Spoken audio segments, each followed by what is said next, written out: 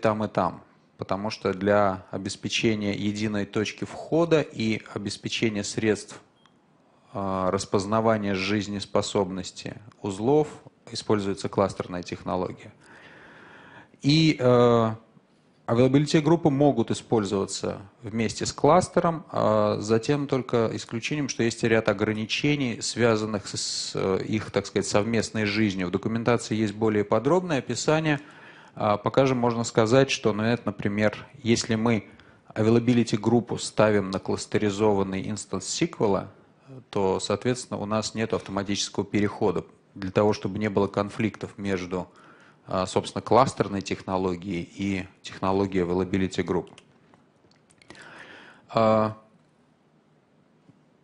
новая технология, она построена на базе ранее существующей. А, то, что сначала было логшиппинг, потом превратилось в мирроринг, теперь, значит, это используя availability группы, но принцип остается тот же самый. Накатывание журнала в реальном времени через использование компонента logreader на primary реплики.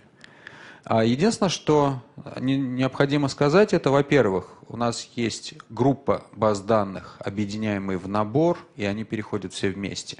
У нас есть несколько резервных серверов, и резервные серверы могут принимать рабочую нагрузку на чтение а, напрямую, а не через снапшоты, как это было в э, мирринге. Ну и встроенное управление, то есть руками можно почти ничего не делать, почти, потому что некоторые настройки – остались э, только через код, но может быть там с выходом сервис-пака или R2 или что там у нас запланировано, э, это тоже будет сделано через графический интерфейс. А с точки зрения кластера как такового, э, тут значит, мы поддерживаем теперь использование узлов в разных подсетях, то есть Windows кластер это поддерживал раньше, SQL начинает поддерживать только с новой версии. А расширенная политика Э, перехода, то есть э, расширенные средства описания, когда нужно осуществлять этот переход, более расширенная диагностика, ну, в принципе, может использоваться для сценариев консолидации. Вот на здесь э, пара слайдов по поводу того, как это, в принципе, можно использовать. То есть, значит, у нас есть primary сервер, у нас есть несколько вторичных серверов, построенных по принципам либо синхронного, либо асинхронного зеркалирования – а, Причем в документации постоянно встречается слово replication, когда мы говорим про availability группы. Это не имеет абсолютно никакого отношения к репликации в том виде, в каком мы ее знаем уже много-много лет. Это, по сути дела, передача журналов. Это не репликация, та старая репликация. А, поэтому, значит, тут с терминологией тоже, в общем, не все гладко, и э, резервные серверы называются репликами – нужно просто понимать, в каком контексте э, используется тот или иной термин. А когда это все будет переводиться на русский, наверное, это еще сильнее усложнит э, понимание, но, увы, вот так оно есть. Значит. Соответственно, другой сценарий подразумевает значит, группирование серверов Опять же, значит, у нас есть центральный сайт, у нас есть синхронный сайт, у нас есть асинхронный сайт. В зависимости от того, какую задержку мы готовы принять, как далеко у нас находятся значит, резервные серверы, можно использовать ту или иную комбинацию. Но в результате мы получаем действительно реально распределенную систему, плюс возможность использования резервных серверов для выполнение нагрузки, э, ну, распределение нагрузки и на них тоже, чтобы они не простаивали. Потому что когда мы говорим о кластере, обычно одна из э, жалоб заказчиков заключается в том, что вот я покупаю два сервера, работает только один. Здесь второй можно хоть как-то использовать. Значит, если мы говорим про э, защиту на уровне баз данных, то это availability группы. У нас переход баз данных осуществляется всех, которые в группу включены. У нас до четырех резервных серверов, из них два могут быть синхронной репликацией и два с асинхронной, причем это э, забито насмерть, и мы не можем сделать, скажем, 3 и 1. Мы можем сделать 1 и 1, но верхние пределы жестко ограничены. Будут они расширяться в дальнейшем или нет, я не знаю. Используется встроенная компрессия шифрования, автоматический ручной переход, причем если у нас асинхронная реплика, то она по умолчанию подразумевает ручной переход, и в том случае, если она становится primary, э, то автоматический переход просто отключается. Сделано это для того, чтобы исключить возможность ну, чрезмерной потери данных, наверное, потому что асинхронная реплика всегда отстает сильнее, чем синхронная. Вернее, нет, виноват. А синхронная реплика не отстает вовсе, там задержки при получении данных реально в базу, но потерь, то, что там в явном виде указано, потерь данных, мы, по идее, должны избежать. Значит, очень полезно удобно, наверное, скорее. А у нас есть единое виртуальное имя, к которому мы обращаемся, то есть клиентам не нужно э, переприсоединяться, используя другую строку подключения. А, развитые средства диагностики, поддержка репликации, уже той самой старой репликации. А, есть возможность нагрузку для чтения передавать на резервные серверы и снимать бэкапы, если мы говорим о журналах транзакций. Ну, автоматизация PowerShell это уже проходит насквозь. Значит, что происходит в том случае, если у нас возникает сбой? То есть у нас есть primary сервер и у нас есть два secondary сервера. А, приложение обращается к так называемому listener, то есть это кластерный ресурс, который представляет всю эту конструкцию как бы наружу для клиентов. При том, что мы имеем возможность обращаться к каждой ноде напрямую, в том случае, если у нас нет о необходимости использовать маршрутизацию для читающих клиентов. Мы об этом чуть позже поговорим. Соответственно, при падении сервера А, сервер Б принимает на себя функции э, primary, и э, после завершения перехода вся конструкция снова доступна для э, доступа. Естественно, на момент перехода, это в общем, достаточно короткое время, Э, приложению придется пересоединиться, потому что connection теряется. Но это работает примерно так же, как это работает в классическом кластере. Значит, э, для своего функционирования э, availability группа использует, как я уже сказал, кластерную технологию. То есть у нас есть по-прежнему тот же самый Heartbeat, у нас есть ресурсные DLL, которые обеспечивают всем узлам информацию о том, в каком они находятся, ну, живы они или не живы.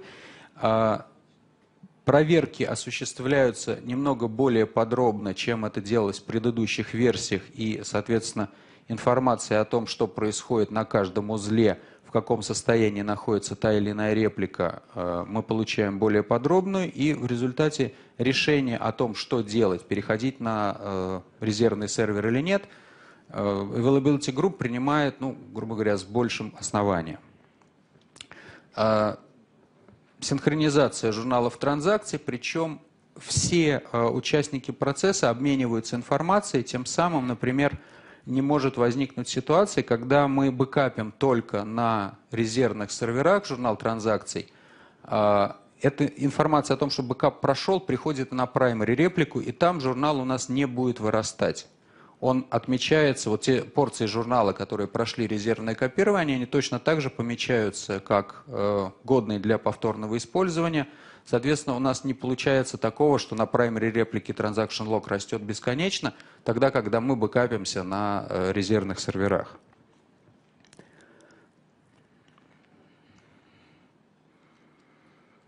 Соединения выполняются через э, стандартные, ну, достаточно давно уже известные эндпоинты, которые мы в свое время настраивали еще для мирроринга. А, то есть в этом отношении используются в полной мере ранее известные технологии, и, соответственно, э, репликация выполняется синхронно или асинхронно. Тут э, то же самое, как это было с миррорингом, в том случае, если у нас синхронная репликация, мы практически полностью избегаем потерь данных, но э, можем получить задержку на завершении транзакции, потому что нам нужно получить от, ответ от резервного сервера. В том случае, если мы готовы пойти на некоторую потерю, то транзакция отправляется на резервный сервер, и primary нода не ждет э, никакого подтверждения, а транзакцию фиксирует у себя. Канал по-прежнему э, сжимается, и шифрование по-прежнему поддерживается. Значит, собственно, сама availability группа представляет из себя контейнер, в который мы помещаем одну или более баз данных, группируя их по э, логическому принципу обслуживания либо с точки зрения административных задач, либо с точки зрения того, как они нужны конкретному приложению. А поверх этого всего у нас располагается listener, который обеспечивает нам единое виртуальное имя, к которому подключается клиент. Ну и набор реплик, соответственно, primary, secondary, и которые обеспечивают нам э, работоспособность. Плюс у нас есть возможность определять так называемый роутинг-лист для читающих клиентов с тем, чтобы клиент, пришедший к листенеру с явным указанием, что он собирается только читать, будет автоматически перенаправлен на определенный в роутинг-листе э, резервный сервер, открытый для чтения. В результате мы получаем более равномерную нагрузку, и мы получаем возможность в некоторой степени э, осуществить горизонтальное масштабирование системы. Значит, э, при переходе, соответственно, у нас э, отчеты перенаправляются на тот сервер, который становится нам доступным. Ну и очевидно, что сама технология построена таким образом, что нам некоторых задержек в получении данных на резервных серверах избежать невозможно в принципе, потому что фиксация транзакции идет в первую очередь в журнал. После чего она, восстанов... она поднимается в базу стандартными операциями ряду, которые э, в SQL-сервере существовали всегда.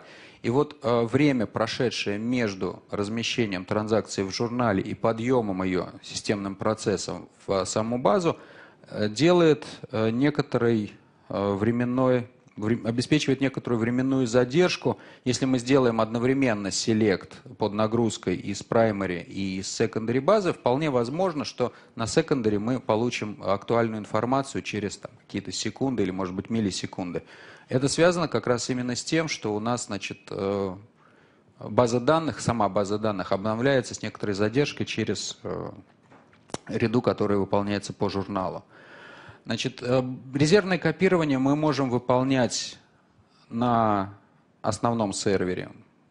Все виды резервного копирования, которые существуют, дифференциальный, полный, копи-онли, журналы транзакций. А на резервных серверах мы можем делать копи-онли, мы можем делать резервную копию журнала. А в том случае, если у нас сам, так сказать, процесс э, резервирования достаточно интенсивный, часто мы это делаем, и э, объем данных генерится большой, то вполне возможно, что мы э, существенную часть нагрузки с э, primary сервера снимем, э, делая резервную копию на э, вторичных серверах.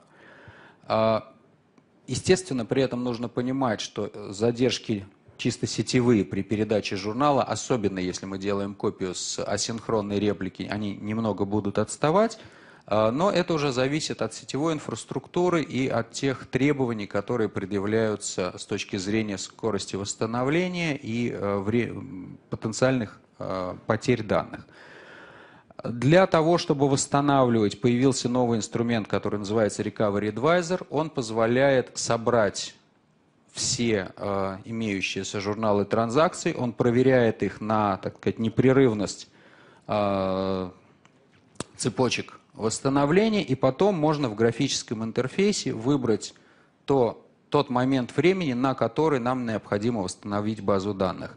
И, в принципе, э, рекомендуется в том случае, если мы используем э, резервное копирование на нескольких серверах, рекомендуется создать некий единый storage, куда эти все бэкапы будут сливаться, с тем, чтобы не собирать их по всей сети, а брать из какого-то единого каталога. Но это уже чисто административная задача. А, странная проблема, которую мне удалось найти в э, подготовке к этой конференции, выяснилось, что все серверы, для которых мы восстанавливаем, должны быть в одной временной зоне.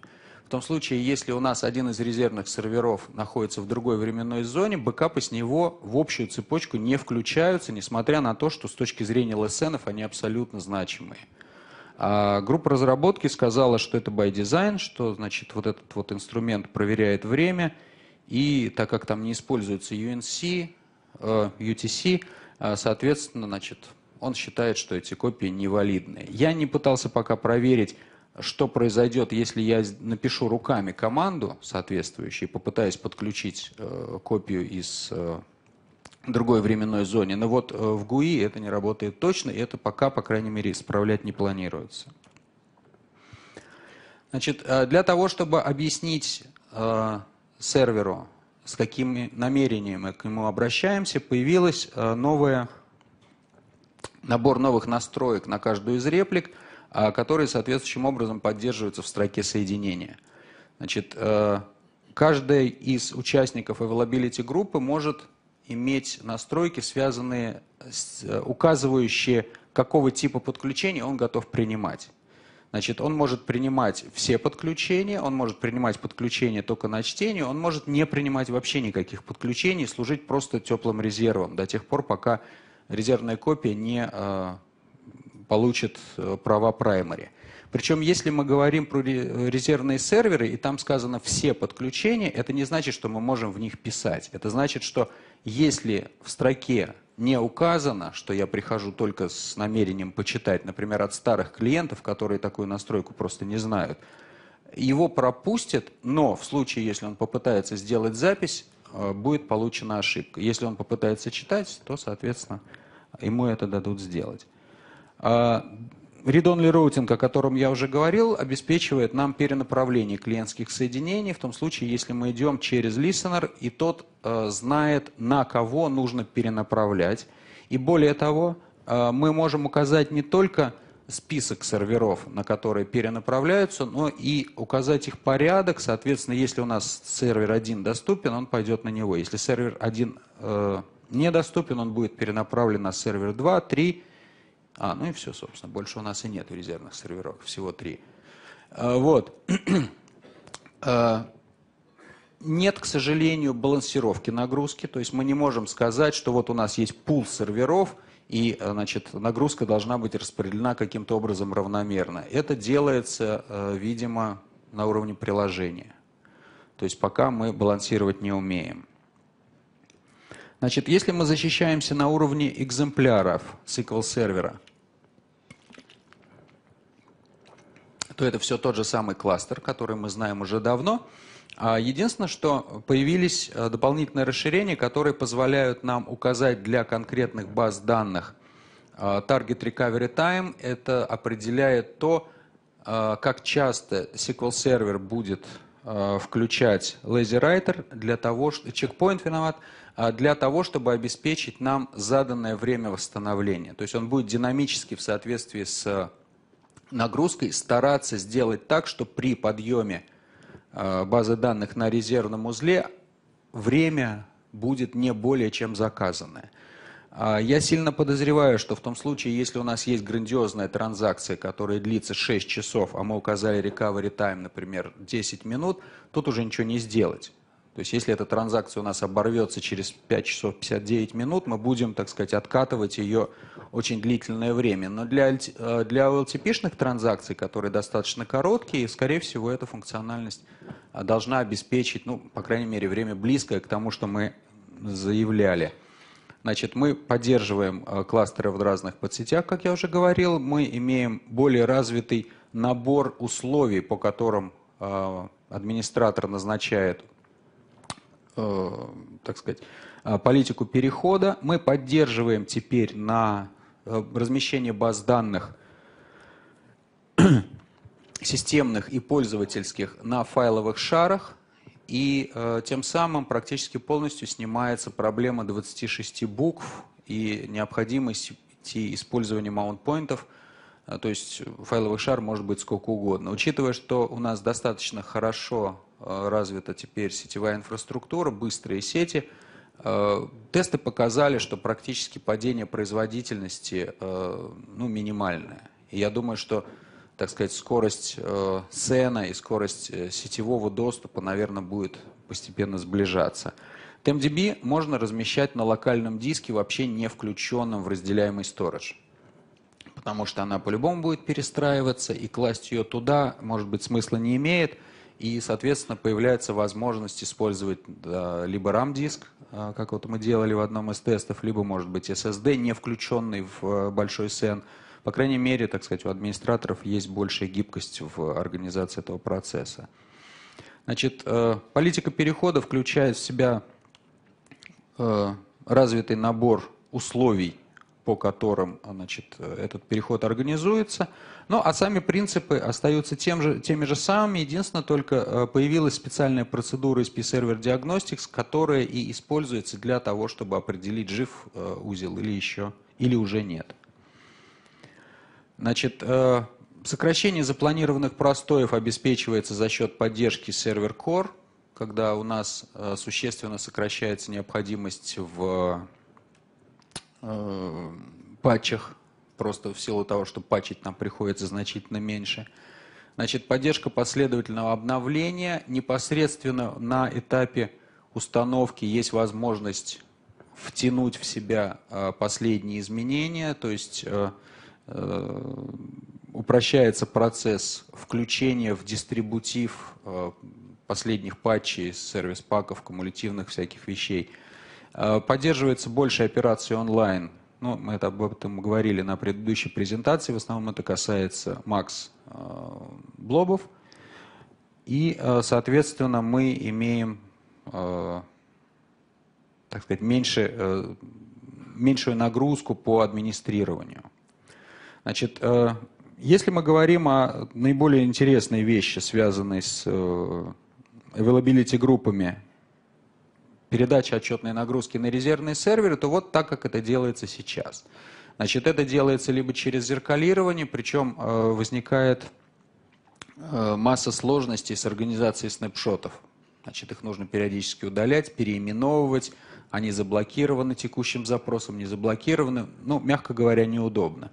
Репликация работает гораздо лучше, потому что она практически полностью оторвана от, от основной базы, но э, очень часто нам либо это не нужно, иметь всю базу целиком, а либо база данных настолько велика, что настройка огромного количества статей создает проблемы, а сама э, административная задача по организации репликации, в общем, нетривиальная штука, и э, оптимизация э, поддается гораздо лучше, но в том случае, если мы э, попытаемся перейти на этот сервер, то, конечно, это нам будет невозможно сделать, э, если, так сказать, резервный сервер, ну, по сути дела, уже не является резервным, он является уже отчетным сервером.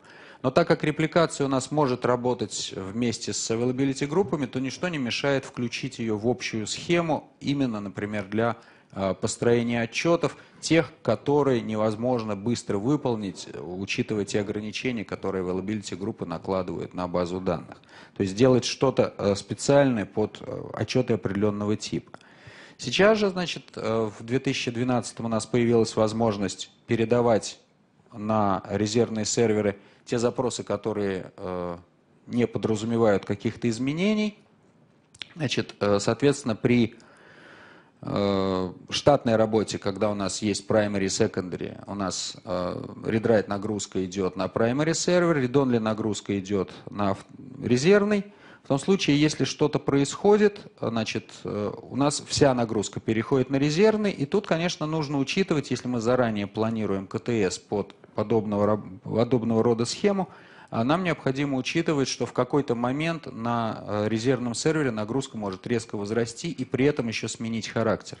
Так как у нас э, независимые дисковые стойки, у нас независимые серверы, то, скорее всего, будет неправильно использовать, мне приходилось встречаться, когда резервный сервер используется какой-нибудь слабенький э, под тем предлогом, что ну, мы недолго на нем будем жить. Э, не всегда это срабатывает. Э, бывали случаи, когда приходится жить на этом слабеньком сервере гораздо дольше, чем предполагалось, но со всеми вытекающими последствиями с точки зрения производительности. Поэтому нужно тут э, к этому относиться аккуратно. А, при этом никто не мешает нам менять серверы ролями. Вот когда у нас будет демонстрация, я как раз это дело вам и покажу. А, при этом, значит, если мы используем read-only routing, у нас динамически происходит перенаправление э, читающих запросов на тот сервер, который в данный момент является э, резервным.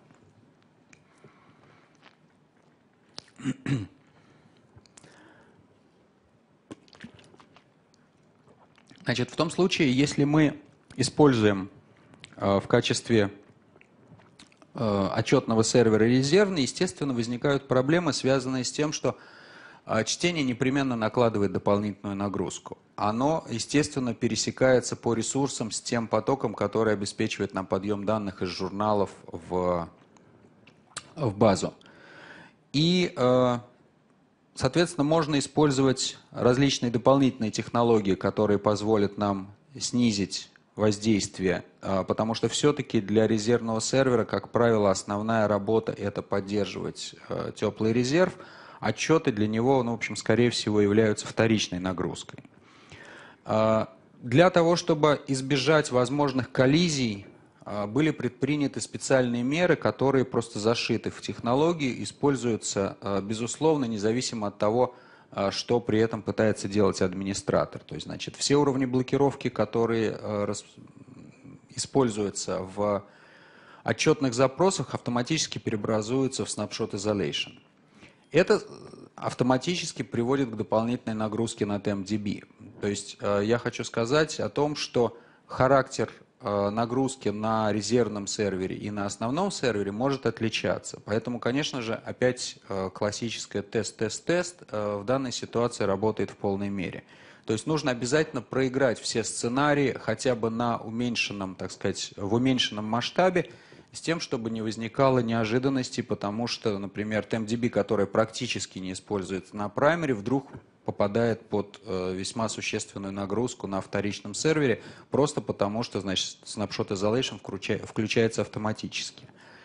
А все хинты а, игнорируются, а, потому что, значит, э, условия совершенно другие – и в том случае, если возникают дедлоки, то ряду никогда не выбирается в качестве жертвы, всегда в качестве жертвы выбирается какой-то пользовательский процесс. Ну и в результате рассчитывается, что э, конфликтов будет меньше, и основной, так сказать, процесс, который обеспечивает нам поддержание резервного сервера, э, будет э, натыкаться на меньшее количество проблем. С точки зрения производительности, ограничения на возможность записи тоже тут, естественно, вступает в действие, потому что, например, а, мы не можем а, позволить серверу создавать статистику под те запросы, которые а, выполняются на вторичном сервере. Вернее, мы можем ее позволить, но при этом э, эта статистика создается как временной и опять-таки перекладывается на всю ту же самую многострадальную TMDB. В результате значит, э, мы не используем full scan, поэтому статистика у нас имеет э, некоторые ограничения с точки зрения достоверности. А при рестарте вторичного сервера эта статистика полностью теряется, и на первых запросах, соответственно, нам нужно будет ее восполнить, поэтому первые прогоны отчетов могут быть медленнее. Если же нам нужна статистика постоянная, нам придется создавать ее на праймере с тем, чтобы через чтение журнала транзакций она переехала на резервный сервер. Вот э, примерно так выглядит теоретическая часть. А теперь давайте посмотрим, как это выглядит на живую. Скажите мне только, насколько хорошо, сам вижу, что плохо, вам видно то, что я буду показывать. Сейчас я попробую включить вспомогательный инструмент, который увеличит нам картинку. Может быть, это изменит. Упс, так. Значит, э, у нас есть э, тестовая среда, которая развернута на трех узлах. А, значит, у нас есть primary, у нас есть вторичный узел, который работает в синхронном режиме, у нас есть вторичный узел, который работает в асинхронном режиме. А с точки зрения кластер-менеджера это все выглядит совершенно обычным образом. Единственное, что необычно для кластера, это то, что у нас полностью отсутствует storage, потому что у нас нет разделяемой системы хранения. А у нас есть три узла. У нас есть кластерный ресурс, который обеспечивает нам вот это вот э, единое виртуальное имя, к которому мы обращаемся для клиентских соединений. У нас есть сеть. То есть в этом смысле все выглядит совершенно обычно. А с точки зрения SQL сервера это выглядит следующим образом. Значит, вот у нас первичная нода, кластер нод номер один. Хоть что-то вы видите? Да? Ну, слава богу. А, значит, на ней у нас две базы данных. Две базы данных включены в availability группу как пара. Причем, э, естественно, так как это primary нода, мы видим, что они находятся в состоянии synchronized, это нормально. То есть у них значит, все прокачано, все прошло э, через э, журнал транзакций надлежащим образом зафиксировано. Значит, у нас есть новый узел, который называется Always On High Availability, включающий в себя набор availability групп. И здесь у нас определена availability группа которая мапится на тот самый listener, который мы только что видели в кластере. У нас есть несколько availability реплик, то есть э, серверов, поддерживающих всю нашу конструкцию, про которых мы знаем, что значит 0.1 у нас, соответственно, primary, 0.2 у нас secondary, 0.3 у нас secondary. У нас указано, какие базы включены в availability группу и указано, какой listener их поддерживает. Для того, чтобы они могли с, э, друг с другом общаться, у нас определен endpoint, а также, как это мы делали в мирроринге, э, TCP-шный endpoint, через которых, собственно, идет э, все общение между узлами. Если мы раскроем два других узла, то мы увидим, что значит, у нас есть кластер нод 0.2, это синхронная копия, у него тоже есть база данных, которые тоже находятся в состоянии синхронизд, потому что они синхронны. И если мы посмотрим на третий узел, который у нас работает в асинхронном режиме, а, то, соответственно, базы данных у них будут в состоянии synchronizing, что тоже нормально, потому что они всегда идут с задержкой. То есть ее, может быть, физически и нет, но э, предполагается, что она существует. Значит, если мы посмотрим на то, как у нас э, выглядит дэшборд, обеспечивающий нам административные функции э, по управлению э, availability группой, соответственно, значит, э, синхронные копии у нас показаны как no data loss, no data loss и э, data loss для асинхронной копии. Это не значит, что мы теряем данные. Это значит, что мы можем потенциально их потерять в том случае, если мы будем переходить. А, так, что тут еще можно показать? Сейчас я посмотрю. Так, наверное, здесь больше особенно ничего и нету. Значит, в том случае, если мы выполняем резервное копирование и значит, в некий разделяемый каталог собрали все э, файлы баз данных. У нас есть специальный э, графический интерфейс, он похож на то, что было раньше – если мы посмотрим, значит, у нас есть полная бэкап-копия, которая была снята на primary сервере, кластер Node 0.1. И у нас есть две копии журналов, которые были сняты, соответственно, на э, синхронной ноде 0.2 и асинхронной ноде 0.3. Они все участвуют в процессе восстановления, в том случае, если это нам необходимо. И у нас появился замечательный графический интерфейс, который позволяет нам посмотреть на то, собственно, как у нас выполнялось резервное копирование. То есть у нас красивый треугольничек, который показывает полную резервную копию.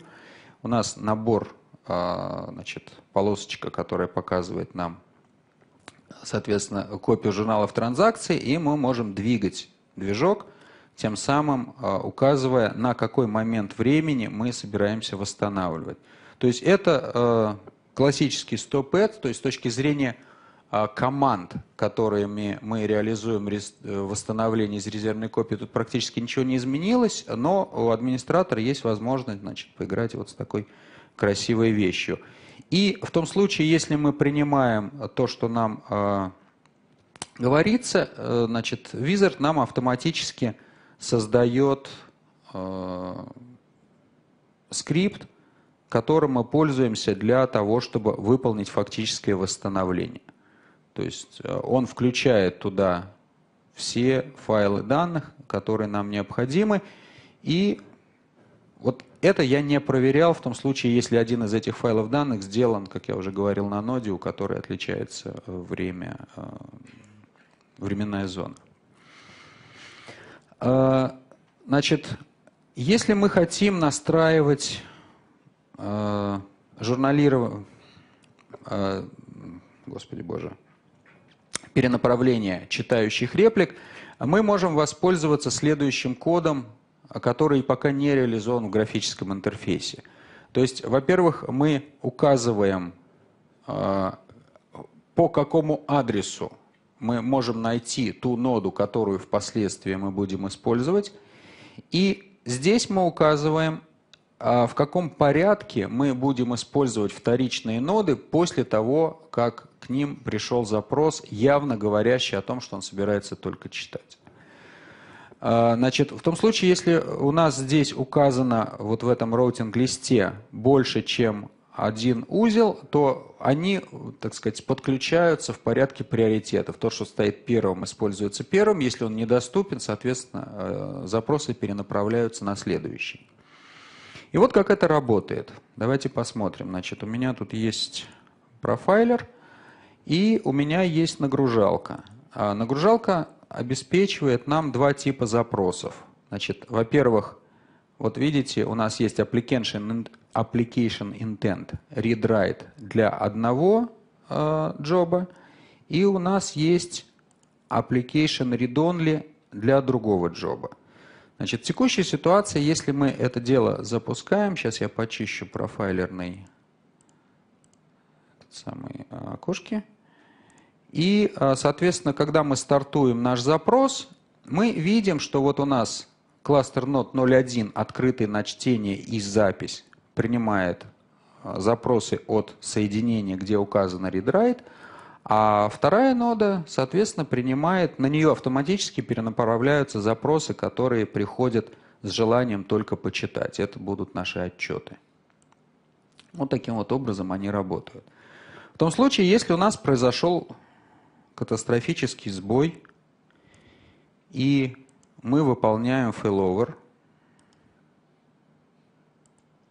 Причем обратите внимание, что когда мы выполняем failover, а, у нас есть возможность выбирать, куда мы будем а, вываливаться. И для асинхронной ноды нам в явном виде с всякими там устрашающими значками говорят, что имейте в виду, здесь у вас есть потенциальная потеря данных. И по дефолту выбирается та нода, для которой э, назначен синхронная э, перекачка журналов. Ну, мы, естественно, люди аккуратные, выбираем ее. Через некоторое время, сейчас мы подключаемся. Next финиш. И, собственно, пошел у нас процесс. А мы тем временем переходим к нашему профайлеру, который э, показывает, что происходит. То есть у нас происходит переключение э, ролей. У нас фактически нода не упала, мы просто говорим, что вот вместо этой primary теперь она будет secondary, а primary будет та, что стала. И вот как вы видите, на ноде 2 значит, приложение продолжает тыкаться, и в итоге, значит, когда нода поднялась, как видите, у нас э, вместо того, чтобы было read-only, сейчас у нас read-write, а та нода, которая стала вторичной, она автоматически э, начала принимать запросы, предназначенные только для чтения. То есть с точки зрения приложения это абсолютно прозрачно, и э, единственное, что необходимо, нужно использовать последнюю версию э, библиотек доступа для того, чтобы можно было указать вот ту самую а, компонент строки соединения, который позволяет, application intent, который позволяет а, кластеру а, сказать, собственно, ради чего мы к нему обращаемся. Вот, с перепугу я даже закончил раньше, чем собирался. Ну, собственно, тут на самом деле, наверное, говорить особенно больше не о чем, потому что Э, нужно прикинуть, что у вас за требования по отказу устойчивости в организации, поставить себе виртуальную среду и проиграть ее под нагрузкой по возможности как можно большим количеством сценариев. Значит, вот, собственно, все. Э, задавайте вопросы. Если есть, сейчас задавайте. Если будут, э, как я уже говорил, сейчас я верну первый слайд на место закрою эту штуку и э, адрес вы снова увидите, можете мне написать. Слушаю ваш вопрос. Нет, к сожалению, балансировки нагрузки нет. То есть вот до тех пор, пока нода доступна, все будет падать на нее. А, Больше одного routing list а вы тоже прописать не можете, поэтому если у вас есть, ну, грубо говоря, стандартные отчеты и какие-то очень специфические, тяжелые, то тогда вы набор стандартных отчетов направляете через routing list, а специфическими обращаетесь к ноде напрямую, так как это тоже разрешено. Ну, не самый, так сказать, э, хороший вариант. Если бы там было еще read-only intent плюс та нода, которую я хочу, ну, в общем, увы. Зато вы теперь можете, что там, нарастающий итог считать в одну строчку. Простите? Репликация на уровне SHD, а это вообще расположено на таком низком уровне, что, пожалуйста. Вы имеете в виду геокластер? Да, пожалуйста. Не, это просто две разные вещи. Они друг от друга не зависят, друг друга не видят. И, пожалуйста, то есть это у вас будет классический геокластер, на каждом из концов которого вы можете разместить availability группы, чтобы защитить от падения сервера. А геокластер вас защитит от падения бомбы на дата-центр. То есть вот примерно так. А он не может быть другой, потому что вы, когда делаете первичную синхронизацию, вы восстанавливаетесь из бэкапа.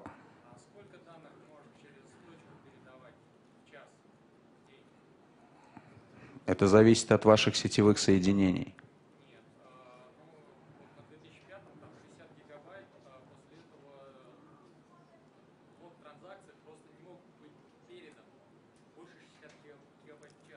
А, то есть если у вас э, журнал растет так сильно, что...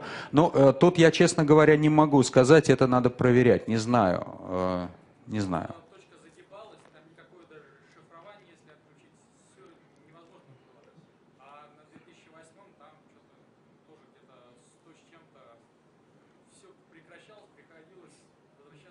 Ну, если мы посмотрим, так сказать, за наклоном прямой, то, наверное, на 2012 получается 120-150. Можно рассчитывать. С появлением сервис-пака 180. Ну, так, примерно.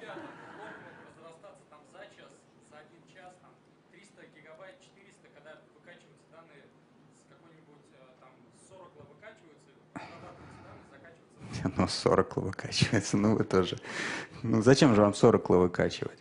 Я не могу вам, к сожалению, сказать, потому что это очень сильно зависит от целого ряда причин. Это зависит от того, наверное, сколько у вас э, этих самых виртуальных журналов, как у вас прирастает саундлог. Э, действительно есть проблемы, и э, у нас один из заказчиков, например, долго мучился с репликацией, потому что э, логридер просто не в состоянии был разобраться в тонкостях, потому что они Oracle не пользовались.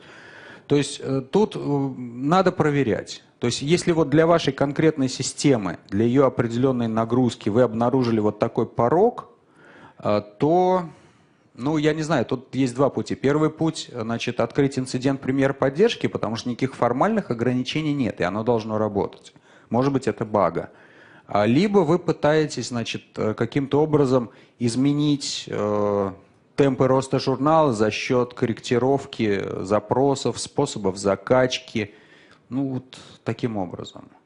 Но нигде не написано, что если у вас журнал растет больше чем, то вы этим не пользуетесь. Не знаю. Более конкретно вопрос. Можно управлять лог-ридер агентом, как это, допустим, в репликации? Нет.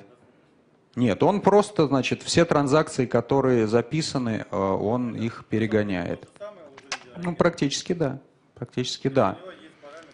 Но только вместо того, чтобы класть это на дистрибутор, он гонит это прямо в сеть. Тут на самом деле э, трудно сказать вот так. Э, может быть, стойка работала у вас медленно, и поэтому... Ну нет, нет, это в репли...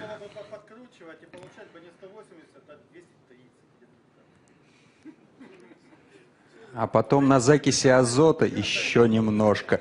Я не знаю, я не знаю, но вот явных параметров, которыми можно было бы управлять, в отличие от репликации, здесь нету. Может быть, есть какая-нибудь загадочная э, штука в реестре, но это надо в каждом конкретном случае разбираться. А может быть и нет. Не знаю. Черт, простите. Извините. Не знаю, не знаю, надо смотреть.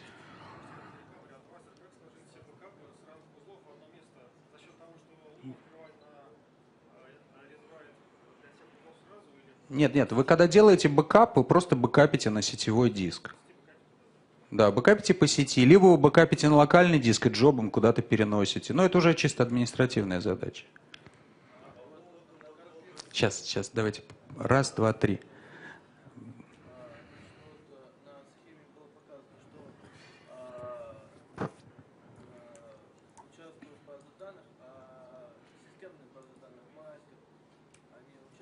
Нет. Нет. Да, вот это есть проблема. Ну, контент, база данных, она на самом деле контент ведь только, как мы знаем, до определенных пределов, то есть джобов в ней нет, юзеры есть. А, да, то есть здесь вот все ограничения мирринга сохранились. То есть если вам нужно сделать джоб, вы его переносите руками.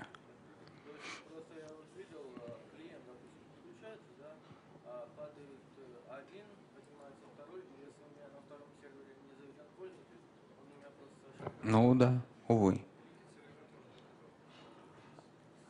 А, ну да, потому что они же не хранятся в этой самой базе. Да, то есть вот обвязка вокруг пользовательской базы, ее придется реплицировать руками. Кто следующий? Да.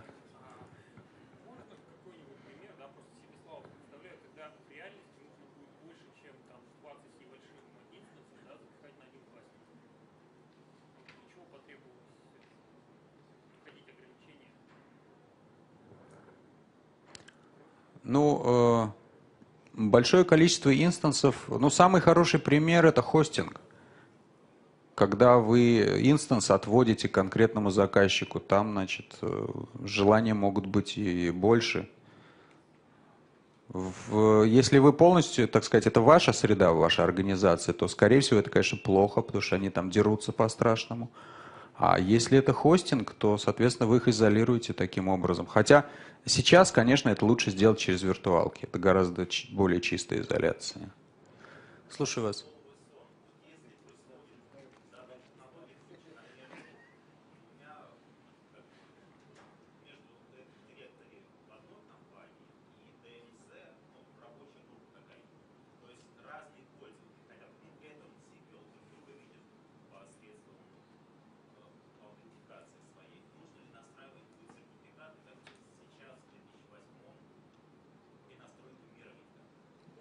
Ну, тут я не помню, чтобы были какие-то изменения а, с точки зрения security, и я полагаю, что придется.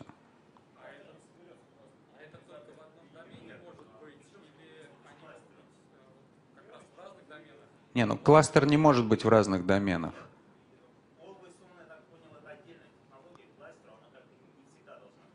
Нет, тут как... Не-не-не, а, значит, э, она используют стендалone инстансы, установленные на кластеризованные Windows ноды. То есть вот так. Мы не кластеризуем SQL. Мы ставим кластер из нескольких Windows серверов и на каждый из узлов ставим стендалone. И потом объявляем его для э, работы с э, этим самым, с availability группами. SQL не кластеризованный, но он сидит на кластере.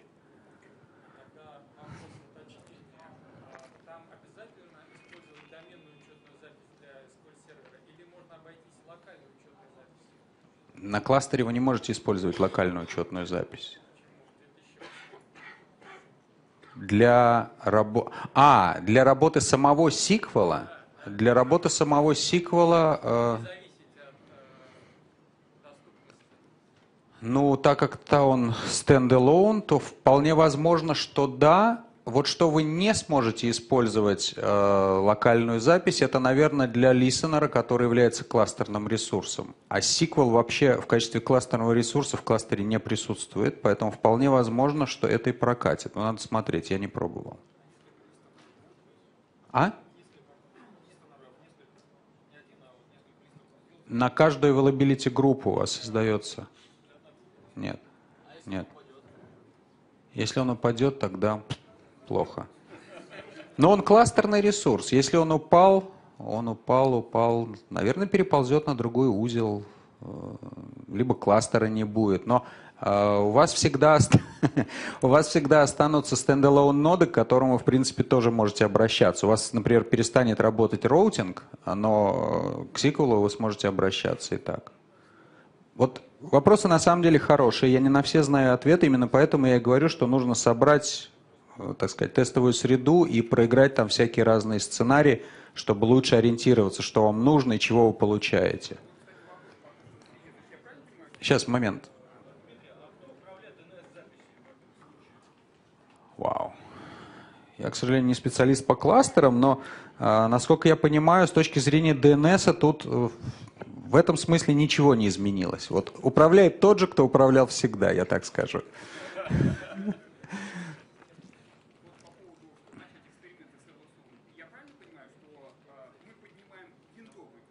Да. Да. А потом на него ставим обычный сервер. Не в инсталле не выбираем. Э, Совершенно верно. Мы ставим Windows кластер. А, мы не включаем в него разделяемый дисковый массив, потому что он нам не нужен. Ну, если хотите, ради бога, но он нам не нужен.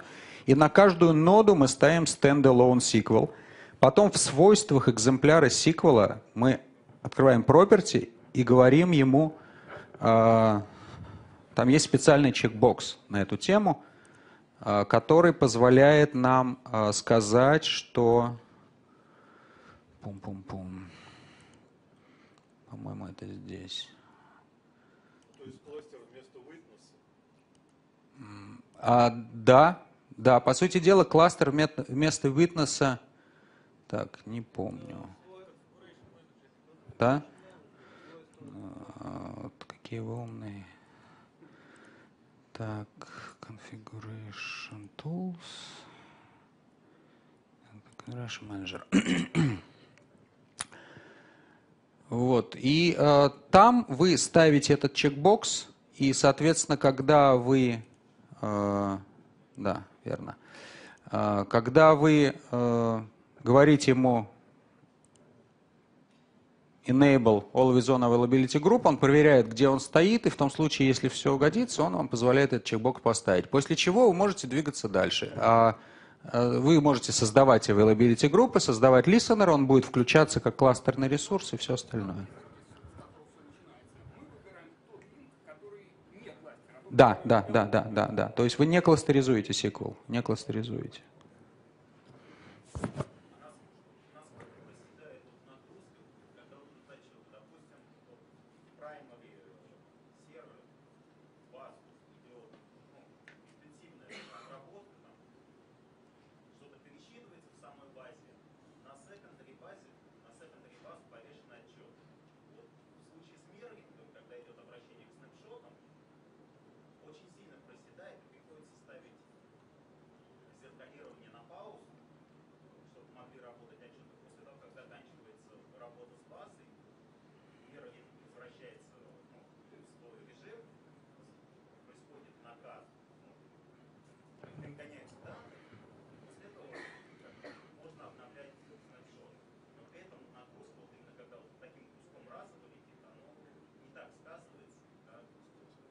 Ну, я думаю, что здесь нагрузка будет меньше, потому что снапшоты вы не создаете, а, соответственно, значит, SQL серверу нет нужды все изменения в этот снапшот, вернее, все старые данные в этот снапшот загонять, чтобы держать его таким же устаревшим, как он был а, раньше. У вас нормальная база данных.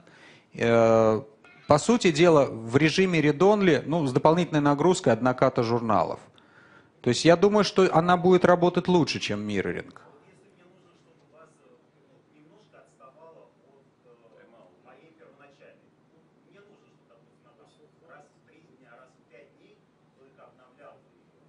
Нет, нет, это log shipping. Это log shipping, потому что здесь э, и вы не можете управлять темпами переката. Как только транзакция пришла, она туда же гонится. Вы не можете сказать, придержи ее. Это тогда вам нужен локшиппинг. Конечно. Ну, я не слышал, чтобы его хотели убрать, но пока он остался. Пока остался. Не знаю. Не знаю. Можно попробовать. Я думаю, что можно, потому что почему не, нельзя? Она, собственно, такая же, как была раньше.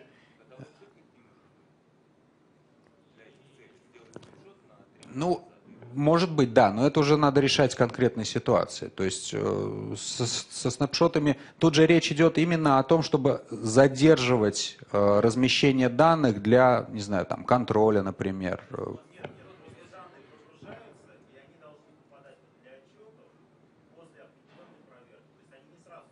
Ну, Разумно, нет. Ну, тогда снапшот не имеет смысла, потому что они льются в базу. А так вы придержали эти самые э, логи до того момента, когда кто-то дал отмашку, да, а потом их накатили. Ну, ради бога, ради бога. Это уже чисто э, конкретное применение.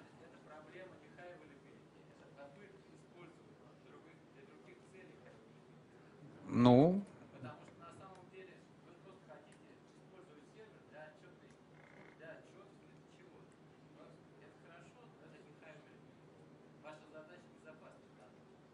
Нет, естественно, естественно, это, так сказать, э, все эти технологии двойного назначения, и там комбинировать можно по-разному, поэтому э, ну, вполне законный вопрос, но я, к сожалению, не могу на него ответить, потому что, значит, это надо все проверять.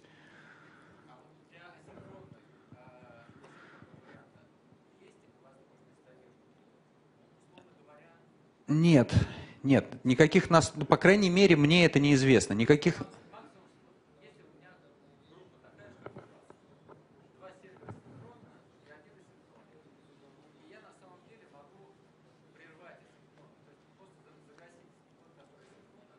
А, ради бога.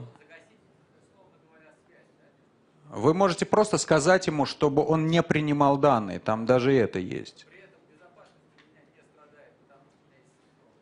Ну, ради бога. Да, такой вариант тоже возможен. То есть мы э, можем, э, так сказать, включать и выключать реплику, но это все надо проверять, каким последствиям это приведет. Потому что э, как только мы пытаемся делать что-то разработчиками не придуманное, мы вступаем в область неизведанного, потому что они это не тестировали. И в результате могут быть совершенно неожиданные форки, мы можем попасть... То есть это надо проверять. Но технологически это, да, это возможно.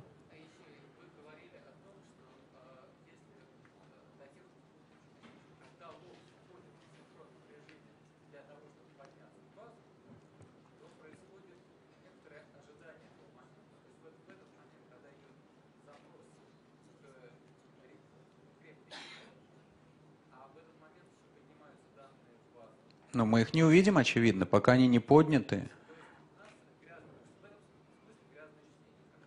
Нет, нет, нет.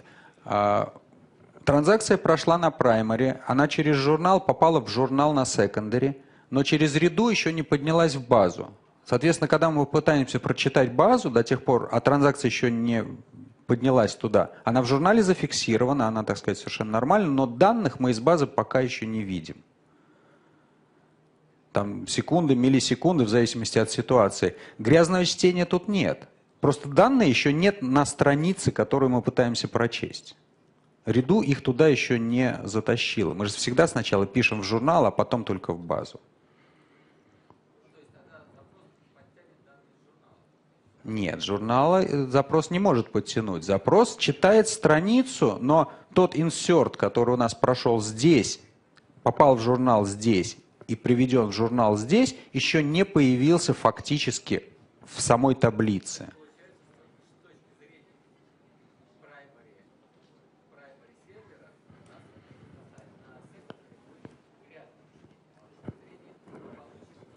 Нет, нет, нет. Грязное чтение – это чтение той транзак... тех изменений, которые потенциально могут исчезнуть при откате транзакции. Здесь у нас этого нет и в помине. Транзакция зафиксирована, прошла по всем бумагам. Она единственное только не получила последний штамп э, в самой базе данных. То есть это, гря... это не грязное чтение. Двухфазный коммент здесь тоже не используется. У нас просто они не успели попасть на страницу. Мы имеем, э, ну, в том случае, если, например, мы говорим об апдейте, то да, не актуальные данные, они еще не прошли. Да, тут это есть риск, верно.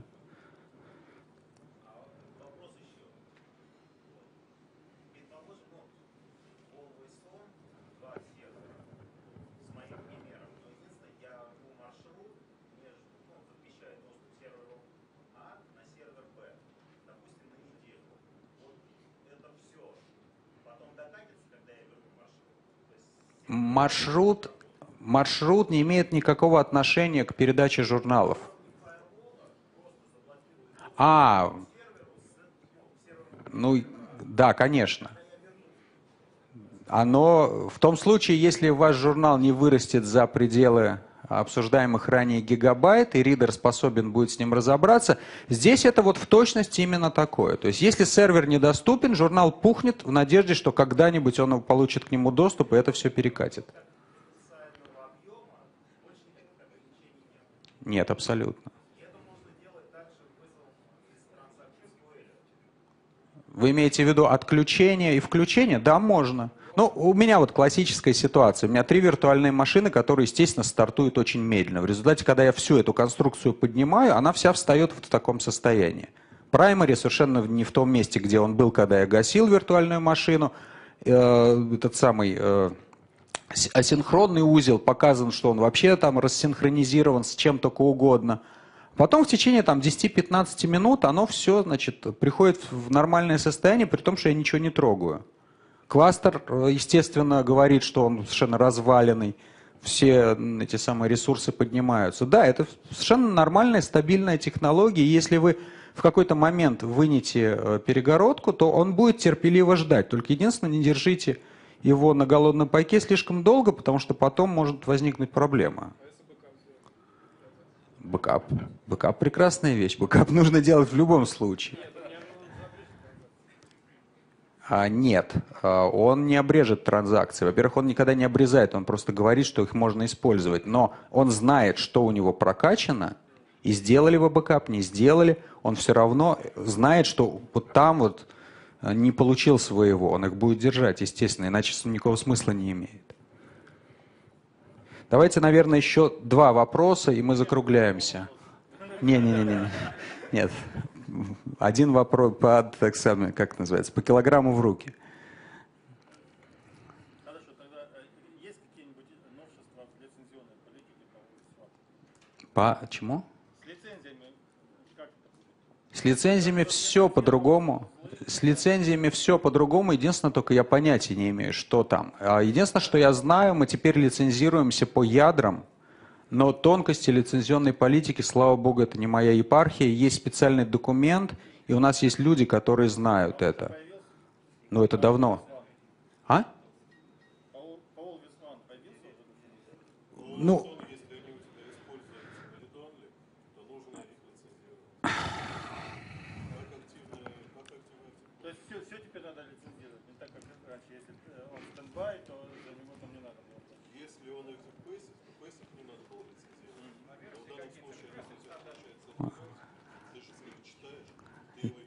Вы сравните с Oracle, мы все равно дешевле.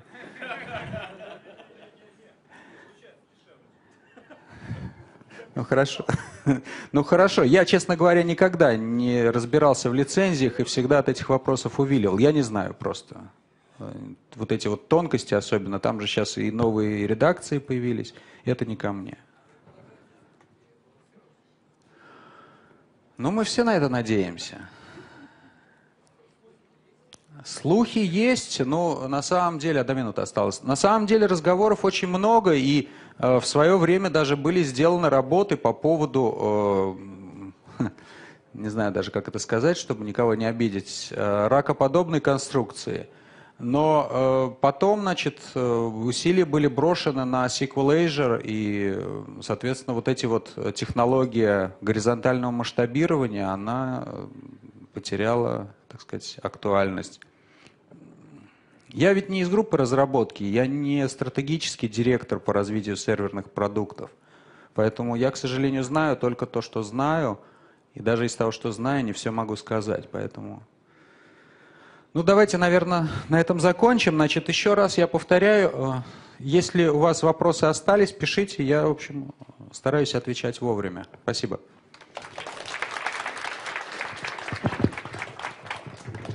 А, включи... Вот, микрофон работает. А, вы сейчас из этого зала, пожалуйста, не расходитесь. Мы прям сразу здесь делаем закрытие. Подождем коллег из э, других залов. А те, кто сидят здесь, посмотрите, пожалуйста, что вы заполнили и сдали анкетки. А если вы этого не сделали, вот можно к выходу подойти, там должны стоять девочки, которые у вас сейчас их быстро заберут и включат в общий розыгрыш призов.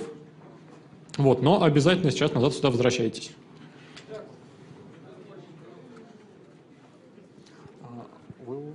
плюс-мінус у вас.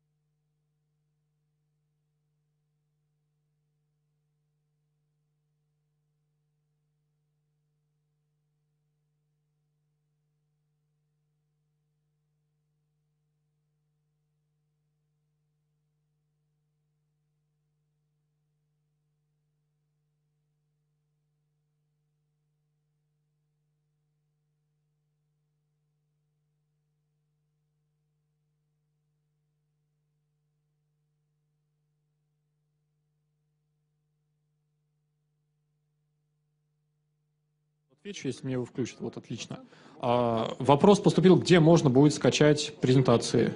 А, можно будет. Доклады, видеозаписи мы выложим на TechDays. Там, я не знаю, как мы договоримся с PAS, будет ли там показанный на PAS или, или нет. А, сами презентации тоже мы вы, э, централизованно выложим э, на технете. Ссылочку тогда мы пришлем то есть по рассылке, ну, во-первых, по широкой рассылке пришлем по всяким MSDN, технет-флешам, и по соответственно, тем людям, которые указали свой email в анкете, тоже пришлем. Будет э, на? Ссылка на по всему TechDays или там по всему точнее. Ссыл- ссылка на Прям TechDays. Конкретно, да, вот на это мероприятие.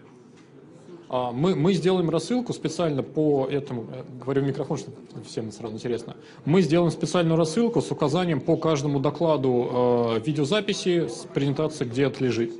А займет у нас, я думаю, что недели две на выкладывание, приведение в приличный вид.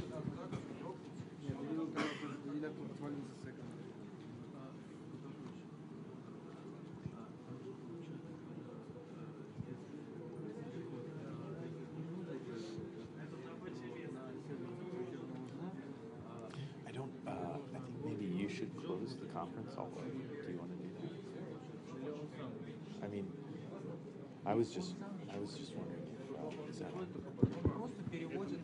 Это решение на уровне базы. На уровне, на уровне грубо говоря, на месяц поставили просто Ну, немножко сложнее, но в принципе эти ограничения, которые требуют создания логина и прочего, они, да, это все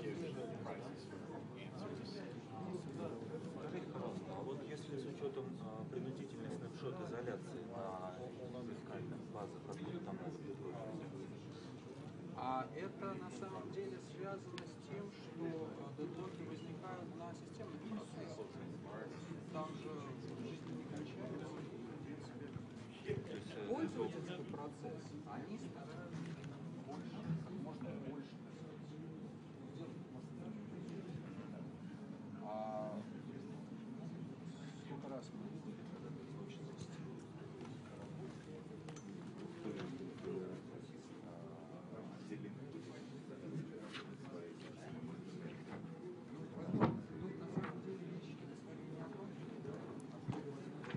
Господа, давайте, чтобы проверить, у нас все дошли или нет, э, еще доклад продолжается. Да? Хорошо, тогда и проверять не будем.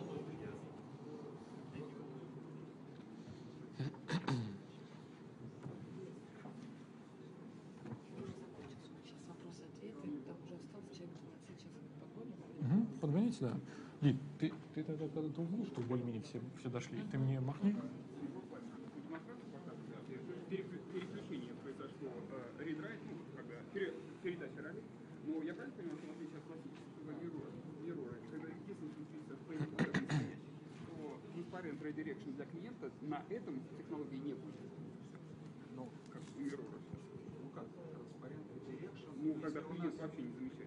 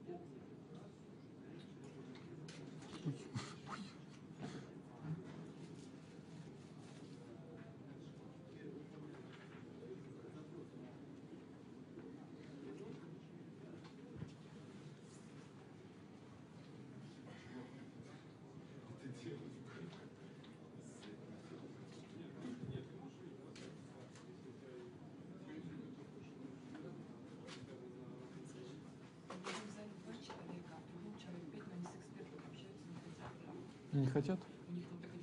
Ну А, Господа, есть ощущение, что те, кто остались задавать вопросы э, докладчикам, они сюда не дойдут, включая докладчика. Просто чтобы проверить. э, ну вот в этом зале понятно, люди сидят, которые слушали. Кто слушал доклад по Data Warehouse от Косякова, Гончарова, Голубицкого? Поднимите руки, чтобы я понял, что люди здесь. Отлично. А кто слушал доклад от Александра Яковлева по T-Foundation сервер? тоже есть. Отлично. Значит, считаем, что те, кто не дошел, призы для них не очень важны. А Мы начинаем наше закрытие. А, Прежде всего, я бы хотел сказать спасибо всем вам за то, что пришли и нас слушали целый день. Это был тяжелый день. Я надеюсь, что вы узнали что-то новое, что-то полезное. Где-то поспорили, пере- переспорили наших докладчиков. Я не уверен, что все докладчики э, дошли сегодня сюда, но вот те, кто здесь есть, именно докладчики. Пожалуйста, иде- идентифицируйте себя, встаньте, чтобы все их видели. Дмитрий, кто еще есть? Кёрт. Кёрт. Нет,